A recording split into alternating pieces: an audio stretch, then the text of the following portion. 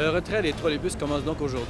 Exactement. Ça commence euh, le 11 avril aujourd'hui par le retrait d'environ la moitié du parc euh, du service. Où vont-ils aller, ces autobus que vous tirez? Bien, nous tâcherons de les vendre aux villes canadiennes qui euh, utilisent encore des trolleybus. Il y en a environ encore une dizaine. Sinon, on les offrira aux États-Unis. L'enlèvement des trolleybus permet de prolonger la ligne Bélanger et de joindre deux tronçons de ligne et d'en faire une seule ligne, évitant des correspondances. Nous commençons déjà à penser à l'intégration du réseau de surface au métro.